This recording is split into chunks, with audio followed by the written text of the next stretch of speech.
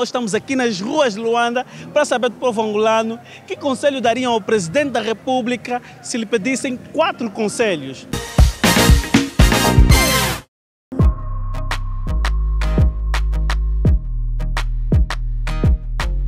Se o presidente da República te chamasse agora para lhe dar quatro conselhos, que conselho darias ao presidente? Não, O que é que você acha do João Lourenço? Hum, muito bem não.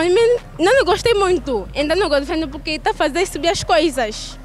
Ele é que está fazendo subir as coisas, afinal. O IVA, Mas o IVA é quem trouxe João Lourenço. não. Então por que que estás a acusar que ele é que trouxe?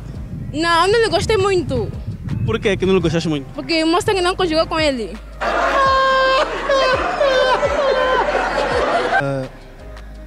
O João Lourenço começou a governação numa fase muito complicada. Encontrou os cofres do, os cofres do Estado vazio. eh, e está tá, tá a sofrer também muitas, muita oposição. Se o presidente da República lhe chamasse agora para dar quatro conselhos a ele e ele podia acatar o teu conselho na hora, tá vendo? Atenção, é responsabilidade, é responsabilidade do país. Quais são os conselhos que você daria? Hum, primeiro, diria ele para hum, apostar mais na saúde, porque realmente o nosso país está mal em termos de saúde, muito mal. Os hospitais andam a falta de muitas coisas. Hum, nos empregos também para os jovens, há muitos jovens desempregados e que têm vontade de trabalhar. Mas o quê? Ah, quantos? Quatro conselhos. Quatro. Não é suficiente? Não, dois não, ele quer quatro conselhos da Daniela. Acho que só tenho dois. Primeiramente, eu poderia aconselhar o João Lourenço a, a investir mais na agricultura. Ou seja, é, fazer dos camponeses é, a agricultura de, sub, de subsistência em transformar a agricultura de mecanizada. Transformar a nossa agricultura um, um pilar gigantesco para a sustentação da economia angolana. Mas isso ele já sabe, já está a fazer. Outra coisa. Não, é, está a fazer, mas tá, não está a ser de forma adequada.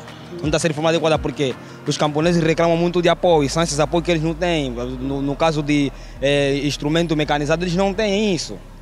As, as, as infraestruturas de ligação, não tem estradas que eles ajudam a escolher seus produtos. Então, tudo isso aqui existe com que o Estado também valoriza mais um bocadinho a parte da agricultura, ou seja, o PIB, o, o, o, o, o, auge do Estado poderia estar a priorizar mais a agricultura e a saúde e a educação para que nós tenhamos o quê?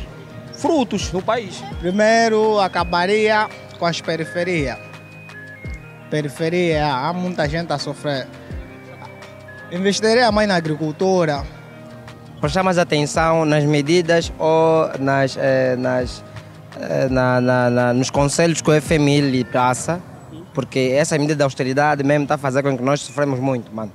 ouvir mais o povo, acatar o que o povo diz e pôr em prática, não logo no início, né? Porque é difícil. Tem que avaliar primeiro. Sim, tem de avaliar primeiro.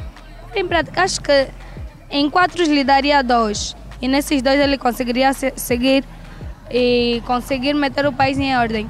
O segundo conselho poderia pedir ao João Lourenço para poder investir nos recursos humanos do nosso país. É, primeiramente, que eu poderia dizer que, primeiramente, se se fosse a mim, ou dizer ao presidente da República, primeiramente tem a ver com a- o problema da cesta básica da população. E a segunda coisa, te- de, devia, para mim, devia ser o problema da água e saneamento básico, que tem a ver com a luz. E a terceira coisa seria combate à criminalidade, que hoje em dia está mesmo péssima, péssima no, a, a nossa sociedade angolana. E qual seria o último conselho que darias ao presidente da República? O último conselho para mim devia ser que o governo vesse questão principalmente questão da saúde, saúde pública. Está muito mal. Está muito mal nos hospitais. Se te elegessem como administradora do teu bairro, o que, que você faria? Não sei. Primeira coisa que você podia mudar no teu bairro. Hoje você é administradora do bairro. O que você faria? Criminalidade. Tem muita criminalidade? Não tanta, mas tem mesmo, tipo, mesmo ao vivo, te roubam o telefone, todas as coisas, já é difícil. Podias lutar contra a criminalidade, né? Sim. Mas o quê? Água, deveria pôr água. Água, sim. Porque no meu bairro a água mesmo está difícil. Qual é o teu bairro? Ilha, Na ilha de Luanda. sim. O que, é que você mudaria no teu bairro?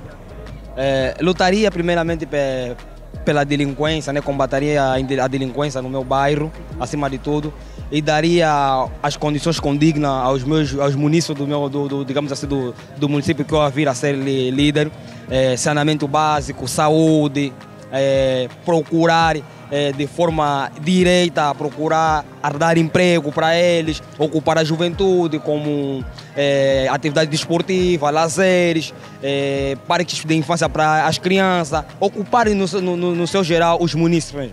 Mas desculpe, agora se o governo não desse tanto dinheiro para que, que sustentava isso, qual seria a sua, a sua criatividade para poder angariar valores para você implementar isso no seu bairro? É, ou seja, para mim, poder angariar esses fundos para poder implementar esses projetos no meu bairro seria de. Ou seja, dentro do próprio município, eu poderia criar uma forma, uma plataforma de que os municípios possam vir contribuir para que todos eles sintam-se satisfeitos no, no, no coletivo. Ou seja, é, resumindo e concluindo, é, se digamos que eu seja o, o administrador do Clã Maquiagem, Clã Maquiagem tem um, detém, um, detém um poder econômico muito, muito elevado aqui no, no- no- na província de Luanda. Poderia muito bem aproveitar, por exemplo, ah, esse- essas divisas que as, as praças acabam por arrecadar, mas que ninguém sabe por onde vai para esse dinheiro. Poderia se usar aquele fundo, poderia se usar aquele fundo para quê? Para mais qualidade, né? mais, mais estradas boas, mais iluminação e indiretamente também dava emprego para a juventude. Ok, obrigado. De nada. Valeu.